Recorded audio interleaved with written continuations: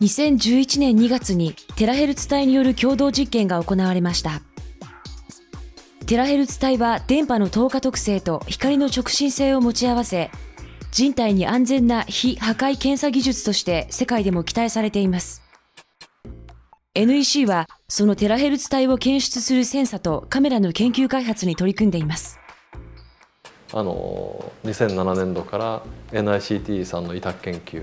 のテラヘルツの赤外線検出機のアレイというのを開発してきてます。アレイセンサーっていうのは最近あのデジカメにもついてる、まあ、携帯電話にもついてる CCD もしくは CMOS っていう言葉がありますけどもカメラで写真がパッと撮れますよねその2次元に行の方向と列方向に並んだセンサーというのをアレイセンサーと言います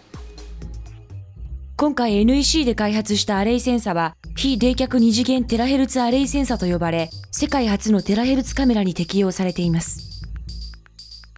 このセンサは従来のセンサに比べテラヘルツを非常に高い感度で検出することができます。だからあの私はもともとまあ天文学からあの NEC に入ってセンサーやってきたんですがあのセンサーっていうのは常に感度向上していかないと世界が進んでますんで赤外センサーの時からやってました。テラヘルツに対する感度をいかに上げるか。我々テラヘルツ吸収膜って一言で呼んでるんですがそこの条件をちょっと非常に特殊な条件そういうテラヘルツの吸収膜のある条件を計算で見出しました。でそれを実際にものを作って、まあ、ものを作るのに1年ぐらいかかるんですがそれで感度があのざざっといって1桁近くまで上がりました。でこれが一つのあの飛躍のあの、まあ、飛躍の第一歩ですかねになりました。私たちがカメラで耳にする画素数。その画素の表面一つ一つに金属の薄膜をつけることによって感度を向上させることに成功しました。しかしこの技術では海外の企業に数年で追いつかれてしまうと考え NEC では他社と差別化を図るためさらなる感度向上を目指しました。そこで次のステップとしてはあの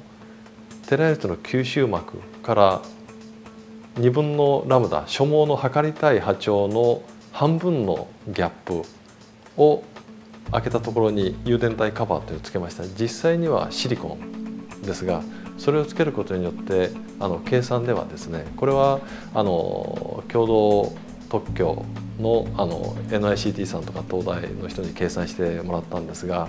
大体まあ2倍から3倍ぐらいは感度が上がるという計算結果が出ました。でそれを我々の方で実際に実行したところ誤差はありますけどもあのギャップのあの誤差にもよりますが2倍から4倍計算通り上がることが実証されました。